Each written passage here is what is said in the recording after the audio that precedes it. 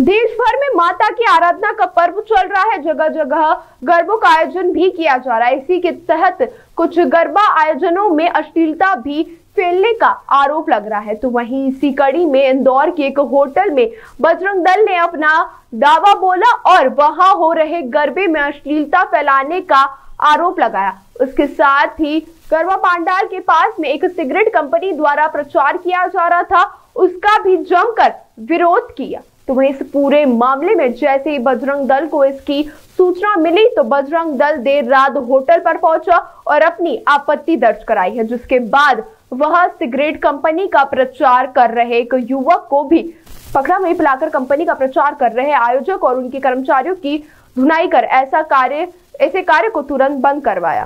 ताज़ा खबरों के लिए सब्सक्राइब करें जे टाइम्स और साथ ही नोटिफिकेशन पाने के लिए बेल आइकन को दबाएँ।